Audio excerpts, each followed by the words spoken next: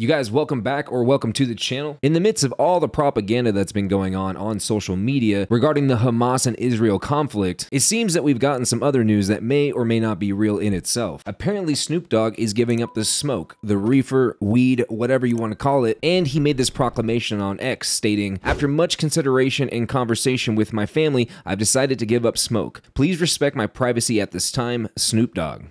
The man writes this as if he's dealing with a loss in his family, which, let's be real, it kind of is. And this is obviously bigger news than when Snoop Dogg changed his name to Snoop Lion. And I am just grateful that that did not stick around for too long. It is actually hard to disconnect the two things. Marijuana and Snoop Dogg is almost as synonymous as Donald Trump and courtrooms at this point. And I'm pretty damn sure Snoop Dogg could get away with smoking pot basically anywhere because it's fucking Snoop Dogg.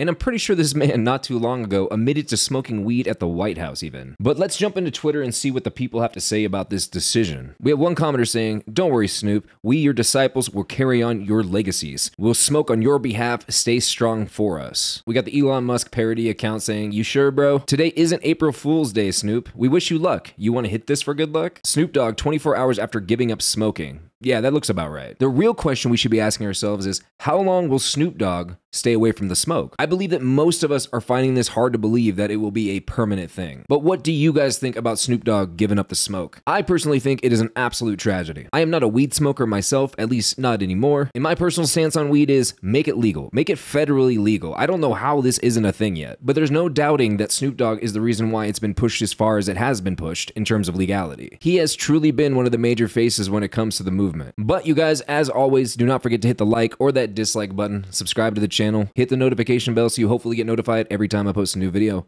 and I'll see you guys in the next one. Peace.